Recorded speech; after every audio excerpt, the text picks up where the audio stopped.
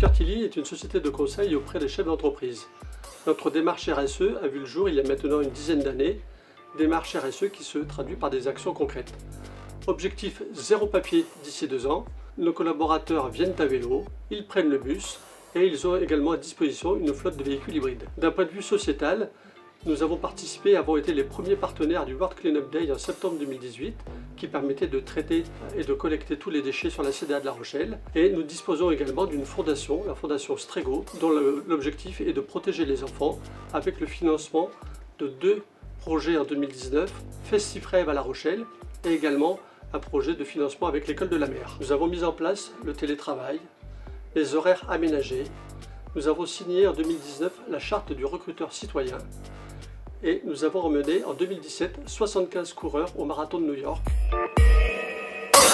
Pour projet en 2021 d'emmener 150 coureurs au marathon de Berlin.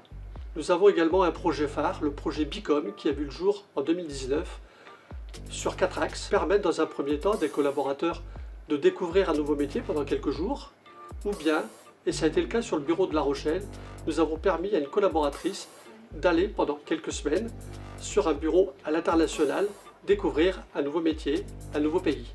Donc Baker Tilly euh, Strego m'a donné l'opportunité de partir à Saint-Pierre-et-Miquelon pour euh, découvrir un nouveau métier. J'ai pu faire de la saisie comptable sur plusieurs dossiers. J'ai pu euh, aussi voir de nouveaux paysages, de nouveaux collègues.